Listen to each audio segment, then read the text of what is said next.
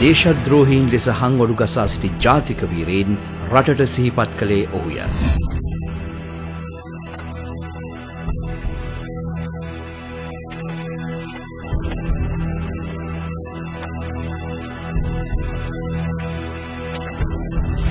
ප්‍රතිඵලය වූයේ මොනරවිල කැප්පැටිපොල ඇතුළු වීරයින් දහ නම දෙනෙකු ජාතික වීරයින් බවට පත්වීමයි.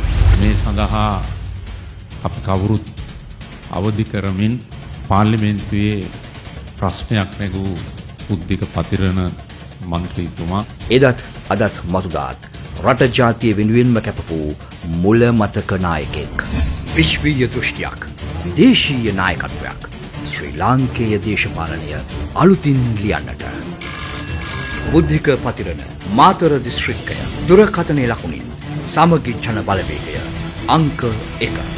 බුද්ධික පතිරණ